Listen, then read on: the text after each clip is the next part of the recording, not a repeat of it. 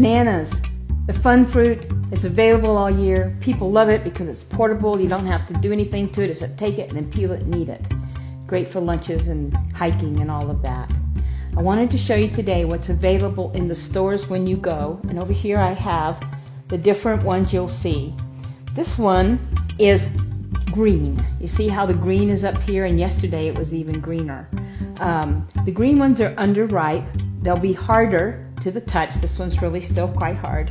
Um, but it only takes three to four days in, in the room temperature to, to make these ripen. Um, so if you bring these home, you put them on your counter and you let them ripen. If you need to speed up the ripening, you can put them in a brown paper bag. But be sure and check it. And then here, these are really hard to pick up because they are past ripe. If you'll notice, they have the brown spots. They're just past ripe. You see how quickly they can come apart. And when you're in the store, if they've come apart, don't get them because the dirt can go inside and people can touch it. But these are past ripe, and if you can get these, these are good to put in the freezer uh, to use for baking or eat that day, sliced up in a salad or something. Now these are even further along in ripening. You'll notice that most of it is black. Now these will taste really banana banana-y, and they are fun for using in baked goods or putting in the freezer to use later. Um, but they are really past ripe. And then they'll eventually just turn totally black. The other thing you find in the banana section are plantains. You'll notice how much bigger they are. They're usually green. They stay green longer than these do. Um, these that we buy and eat here in the United States are called dessert bananas because they're sweet. We can just peel them and eat them, no cooking required.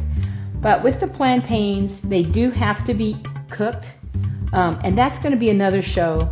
So watch for that one for plantains. But I wanted to let you know what this was because it's sitting next to the bananas usually in the produce section. Now I talked about bringing it home and freezing it. I brought one home yesterday. I froze it. It was solid a while ago, but it has been thawing for a few seconds. Um, it will eventually turn totally black. The interesting thing is co- that's how cold affects the bananas. But when you peel it, the meat inside will be way it was when you put it in. So it can keep for you. So if you have a few that are getting ripe and you don't want them to get black, stick them in the freezer. They'll get black, but then the meat stops uh, ripening, so they're good to eat. Uh, because they've been frozen, they're not as good for your uh, taste palate um, because the you know the, the liquids inside. But there's not a lot of water in bananas. We're going to cut the bananas and prepare them. And as I mentioned, they discolor on the outside once they start ripening, but they also discolor on the inside. We cut off the end, and then I peel it from the other end because it's easier to get it going. And these are the little fibrous strings, and some people don't like them, and some people do, but I usually pull off the big ones just for the people who don't like them. Cut off the little knob on the end. And then you have some choices of how to take care of this. As I mentioned, it will discolor once it's exposed to air.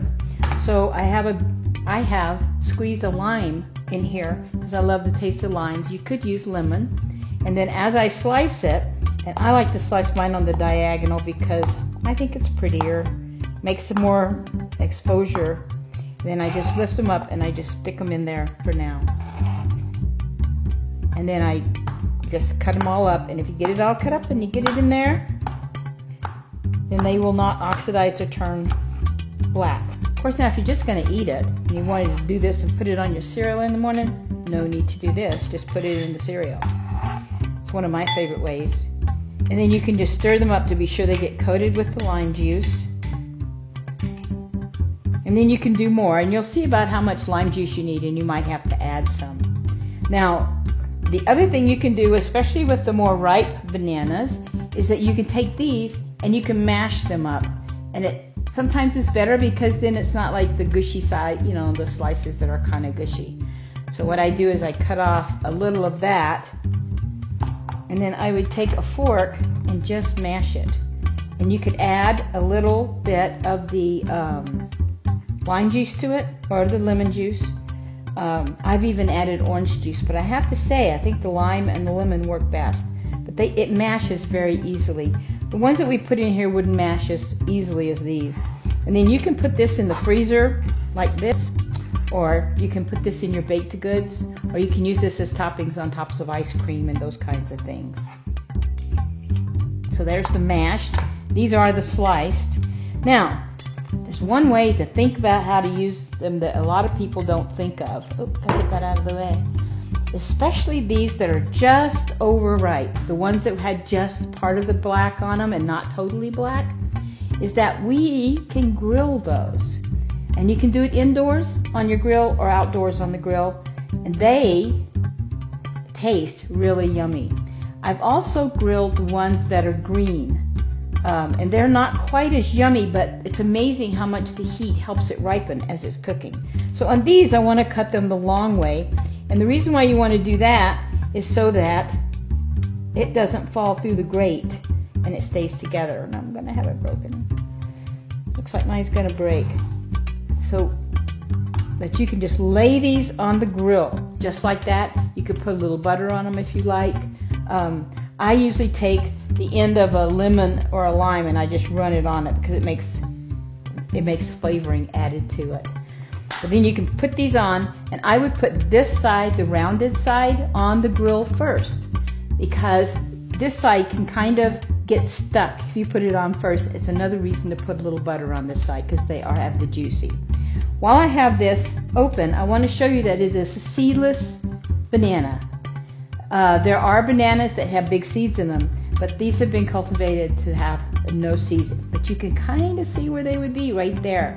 Um, and that part, if you notice, is turning darker before the outside edges are. This is kind of a lesson in the botany of bananas. So we can grill those. You can add the bananas to any dish. So say you're putting a roast in the oven and you'd like to have fruit, so you could put oranges and bananas with it and cook those with it. Um, the other thing to help keep things from being discolored is to use a stainless steel knife. Uh, and don't cook anything in the aluminum pots when you're using this because they will discolor better. So that's all about bananas.